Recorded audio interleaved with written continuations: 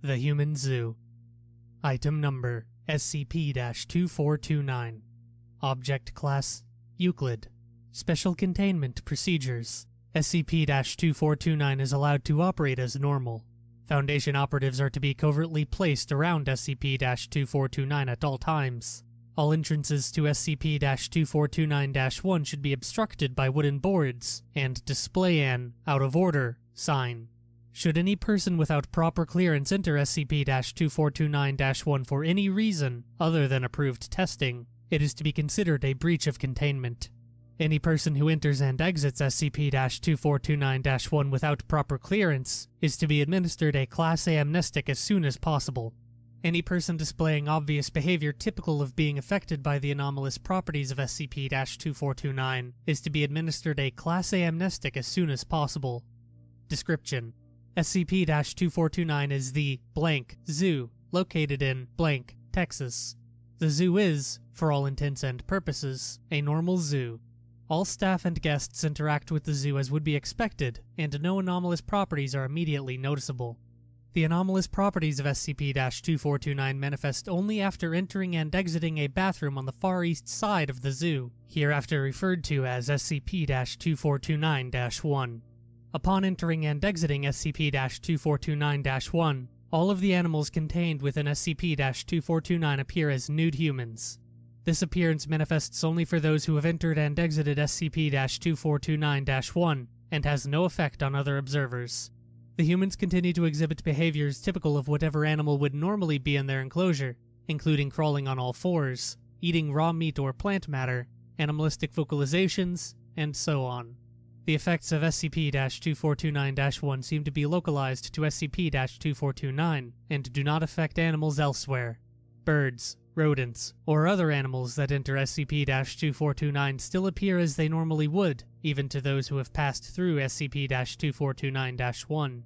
Many entities within SCP 2429 appear as normal human beings of various gender and skin tone. However, those representing animals vastly different from human proportion appear to have been surgically modified to more closely resemble the animal they represent. These modifications include, but are not limited to, lengthened arms and legs, lengthened spinal cord and torso, and skulls shaped to resemble snouts. Those affected by SCP 2429 typically react in shock and horror to the confusion of those unaffected around them. The effects of SCP 2429 1 appear to be permanent, but can be remedied with the use of Class A amnestics. SCP 2429 entities do not seem to hold human levels of intelligence, and all attempts to interact with or interview said entities have proven fruitless. Foundation researchers conducted a more thorough inspection after passing through SCP 2429 1 and concluded that the SCP 2429 entities in their human form have shown adapted skeletal structure, typical of people walking on all fours. Those that have been surgically modified often have inflamed or infected stitching, and in some cases, stitches have partially broken, leading to severe open wounds. Photographs and video recordings of SCP 2429 entities appear as normal animals, except to those who have entered and exited SCP 2429 1. This is true even of photographs and video recordings taken before any individual person had exited SCP 2429 1. After an intensive Foundation led investigation, it has been determined that all staff and corporate entities related to SCP 2429 hold no responsibility for the anomalous nature of SCP 2429. It should be noted, however, that the current owner and manager of SCP 2429 was aware that something was wrong with SCP 2429 1. He claimed that the previous owner had constructed a wooden barrier in front of all entrances to SCP 2429 1 and strongly advised ignoring SCP 2429 1 rather than attempting to repair it.